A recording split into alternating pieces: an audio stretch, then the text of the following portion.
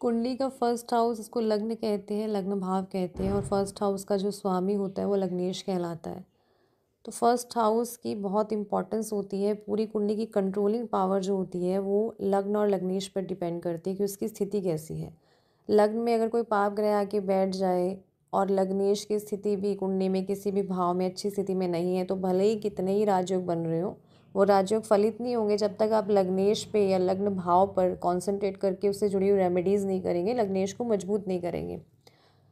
For example अगर मेष लगन की कुंडली है, मंगल सेकेंड हाउस में है, लेकिन लग्न में चंद्र केतु योग बन गया तो होल लाइफ वो व्यक्ति क्या करेगा? चंद्र केतु के ग्रहण दोष, जो ओवर थिंकिंग करवाता है और उस पर भी किसी पाप ग्रह का प्रभाव आ गया एस्पेक्ट आ गया तो वो ओवर थिंकिंग का पार्ट नहीं छोड़ेगा। भले ही मंगल सेकेंड हाउस में है, धन भाव में है, लग्नेश लेकिन फिर भी उसकी जो पर्सनैलिटी पार्ट में एक चीज़ देखा जाएगा कि वो ओवर थिंकिंग करेगा एंगजाइटी करेगा जब तक वह चंद्र केतु कॉम्बिनेशन को आ, उस अकॉर्डिंग पॉजिटिव बनाने की कोशिश नहीं करेगा तो वो अननेसेसरी की डिटैचमेंट हर वक्त कुछ ना कुछ सोचते रहना इन सब चीज़ों में इन्वॉल्व रहेगा। इसलिए लग्नेश की स्थिति बहुत इंपॉर्टेंट जो है होती है कुंडली में और क्योंकि लग लग्नेश जो है वो बताता है आपकी पर्सनैलिटी किस तरह की है।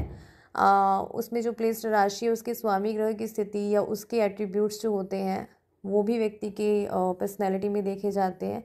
फिज़िकली वो कैसा होगा, दिखने में कैसा होगा, किस तरह की उसकी हॉबीज़ होंगी उसकी पर्सनैलिटी पार्ट में जो जो क्वालिटीज़ हैं, वो क्या क्या हो सकती हैं। तो पूरा ओवरऑल अपेयरेंस को जो है वो लग्न भाव और लग्नेश की स्थिति व्यक्ति की बताती है। उसकी चरित्र की क्या विशेषताएँ हैं? लाइफ को लेकर क्या आउटलुक है उसका? उसका क्या नज़रिया है? लग्न भाव लग्नेश इसकी स्थिति बताती है। इसलिए कुंडली में और लग्नेश अगर अस्तवस्था में है, लग्न भाव में अगर कोई ग्रह नीच हो गया है, कोई मारक ग्रह नीच हो गया है या कोई मारक ग्रह आके बैठ गया है तो वो लग्न की स्थिति को ख़राब करेगा और जो व्यक्ति को अच्छे रिज़ल्ट उसकी लाइफ में मिलने चाहिए, जो प्रोफेशनल और पर्सनल ग्रोथ मिलनी चाहिए, वो नहीं मिल पाएगी। इसलिए दूसरा इसमें जो लॉजिक आता है कि लग्नेश जो है वो जिस भी भाव में बैठेगा, उस भाव के एट्रीब्यूट सिग्निफिकेंसेस उसकी पर्सनैलिटी पार्ट में देखे जाएँगे, उस भाव के प्रति पूरी लाइफ जो है वो व्यक्ति समर्पित रहेगा, उस भाव का इन्फ्लुएंस पूरी लाइफ उस व्यक्ति पर रहेगा।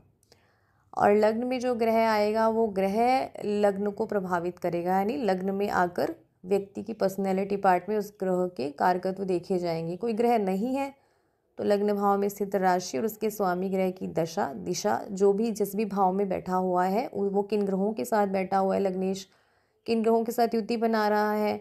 उच्च ग्रहों के साथ बैठा है, नीच ग्रहों के साथ बैठा है, अपनी मूल त्रिकोण राशि में है, शत्रु राशि में है मित्र राशि में है, अस्त तो नहीं है, नीच तो नहीं है, ये सब कंडीशन जो होती है ना, वो पूरा एक डेटा कलेक्ट करके देती हैं किसी भी व्यक्ति के पर्सनैलिटी पार्ट को जानने के साथ साथ उसकी लाइफ में वो आखिर करेगा क्या, वो सब बताने के लिए। तो कुंडली में लग्नेश की स्थिति को जो है कभी भी इग्नोर नहीं करना चाहिए। सबसे पहले जो कंसंट्रेट जो अटेंशन देना है आपको, सबसे पहले कुंडली में लग्न और लग्नेश की स्थिति को दे देना है।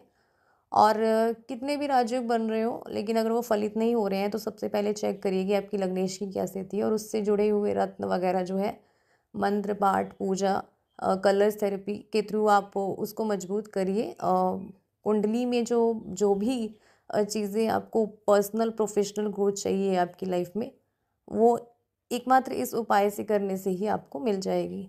सो so, लग्न और लग्नेश लग्नेश जो आपकी हेल्थ आपकी फ़िज़िकल एंड मेंटल हेल्थ को भी कंट्रोल करता है। उससे मज़बूत करना, उससे जुड़े उपाय करना आपकी कुंडली को बहुत हद तक इम्प्रूव करेगा, उससे जुड़े हुए अच्छे फल आपको आपकी लाइफ में प्रदान करेगा।